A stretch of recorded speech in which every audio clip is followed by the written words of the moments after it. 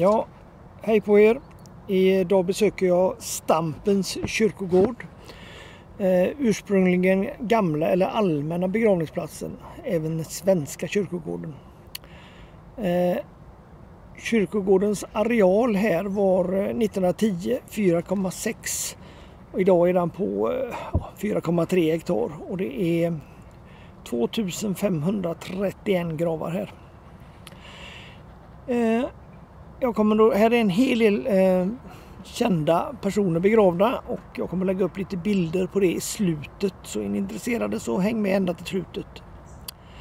I maj 1797 så bestämdes det att en eh, kyrkogård för de svenska och tyska församlingarna skulle placeras på Fattighusängen i nära anslutning till den gamla Fattighuskyrkogården även eh, kallad Sankt Johanni kyrkogård från 1767.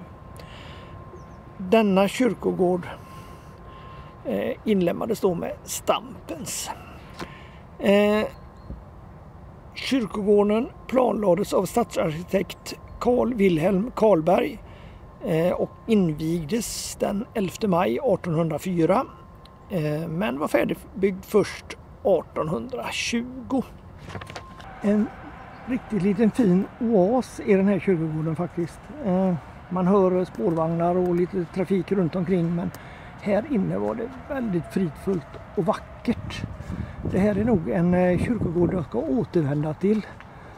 Även om jag inte kommer att göra någon undersökning eller någonting sånt här här så kommer jag nog bara åka hit för här var fridfullt faktiskt. Och eh, helt smockfull med Göteborgs historia.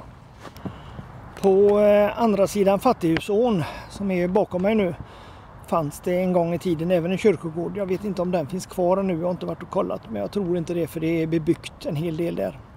Och det är den så kallade garnisonskyrkogården och den har inte använts sedan 1834 eh, då en del av offren för den stora koleraepidemin begravdes där borta. Fattighusån eller Fattighuskanalen är en cirka 900 meter lång grävd kanal i Göteborg som eh, förbinder Mölndalsån med Stora Hamnkanalen och vallgraven vid Drottningtorget. Det är någon som, ah, är någon som håller på med hund här borta.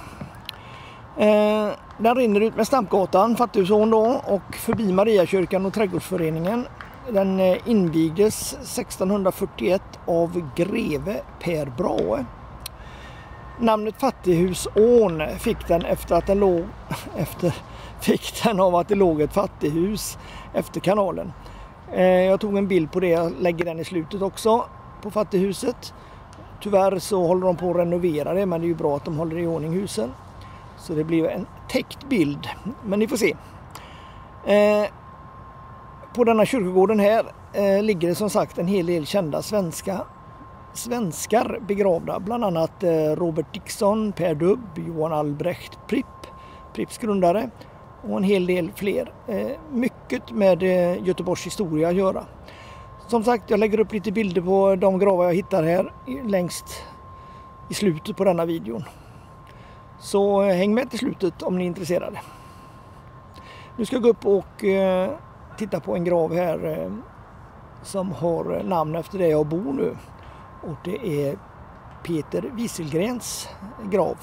Han eh, var ju domprost och eh, arbetade med nykterhetsrörelsen, var emot hembränningen och så vidare. det är ju lite grann av ödets ironi men eh, han ligger inte så långt ifrån O.P. Anderssons grav. De har väl en hel del att diskutera förmodligen här. Får jag hoppas efter så många år nu att de har kommit överens. Vi går vidare får vi se. Ja, jag går väl runt lite grann här får vi se. Om jag får något utslag här. Oj just då.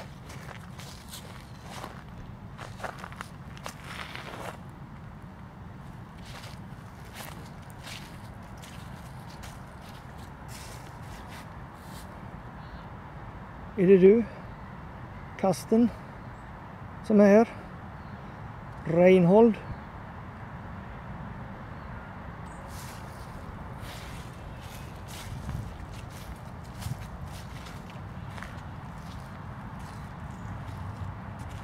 Vad skumt.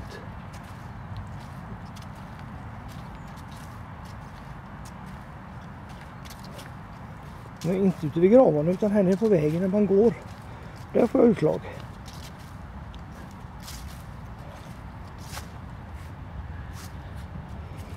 Kan ju vara så att det är en nedgrävd kabel här. Det är lampor här så det är möjligt att det var det det gav utslag på. Jag vet inte.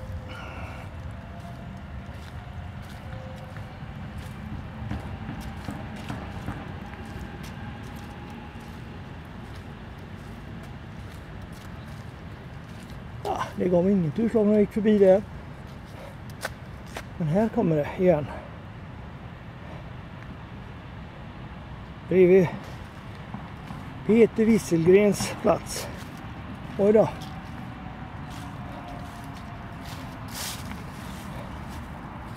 Är du här Peter? Är du fortfarande arg på O.P. Andersson?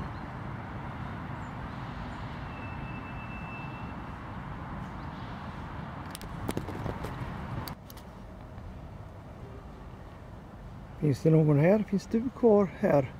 Louisa Rebecka.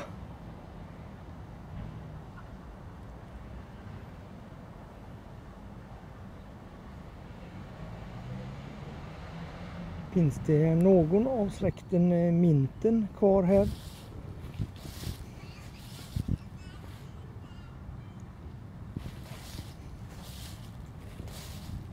Det är ju de som har legat här längst på kyrkogården.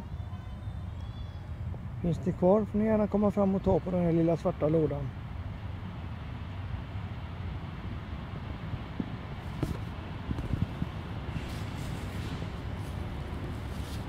Enkefru Johanneli Finns du här?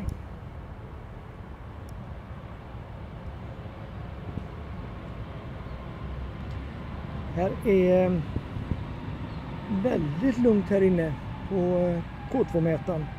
Jag har gått runt och testat lite, jag har inte filmat överallt för eh, det är mycket folk som går här inne.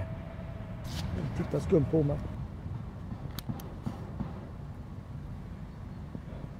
Finns eh, någon i släkten Heurlin kvar här? Eller någon annan?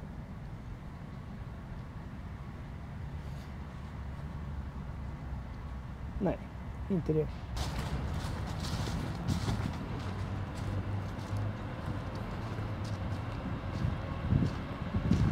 Här är eh, mycket, mycket gamla gravar här.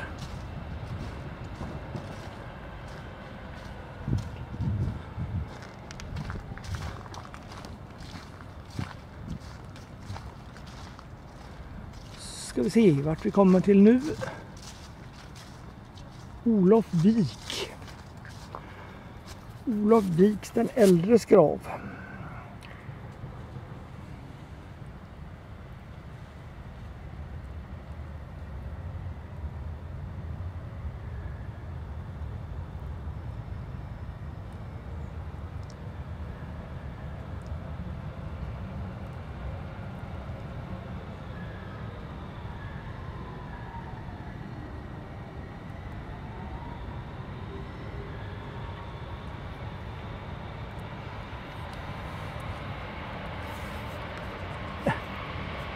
Förlåt.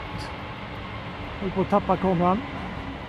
Då har vi gått runt lite här på Stampens kyrkogård och eh, kollat av lite med K2-mätaren.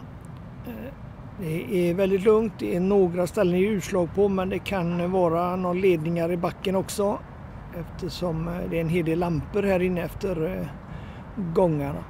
Men det är en väldigt vacker kyrkogård. Fridfullt och fint mitt inne i stan. Eh, jag ska definitivt komma hit när det är lite mörkare och gå runt med K2-mätaren och kolla. Men eh, som det var nu så gav det inte så mycket utslag. Det gav utslag där borta vid Peter Wieselgrens grav. Och eh, han är väl fortfarande sur på O.P. Andersson som inte ligger så långt ifrån honom. Jag vet, de kanske är uppe och slåss på nätterna. ja, ni får ha det så bra så länge. Vi syns snart igen. Tjingeling!